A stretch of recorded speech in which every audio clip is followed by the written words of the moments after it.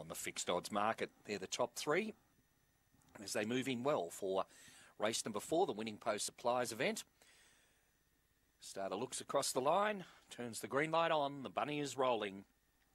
Fourth Mount Gambier ready and racing. Born Rose best to begin down on the inside lead, settling down Sienna Magic and around the outside attitude, pushing through Land of Promise. They're followed by uh, Got Me Smarty, dropping back now Sienna Magic, and last of all Mrs. Girl off the back and Born Rose being joined on the inside by Land of Promise. Attitude out three wide, just behind them. Got Me Smarty in the straight. It's Land of Promise getting to the lead from Born Rose, and Land of Promise scores. Born Rose second, third is tight. Attitude all Got Me Smarty in behind them. Then uh, to pull up with Sienna Magic and Mrs. Girl.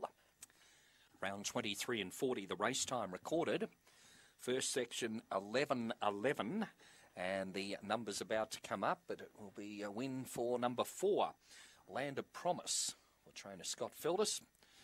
Over number one, Born Rose, was we had for second, and uh, third between the uh, five Attitude and the other one, I think from memory, was number eight, Got Me Smarty, and eight, Got Me Smarty hangs on for third, just ahead of number five, Attitude. 4185, 23 and 43, the race time recorded by the winner, number four, Land of Promise.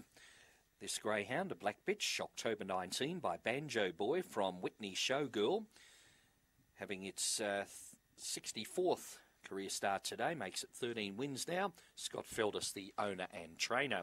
Second to one, Born Rose for trainer Dave Peckham, and uh, third in went to number eight. Got me smarty for Michael Katsiris. 4185 gets four for attitude, 418 and 5 after race number four.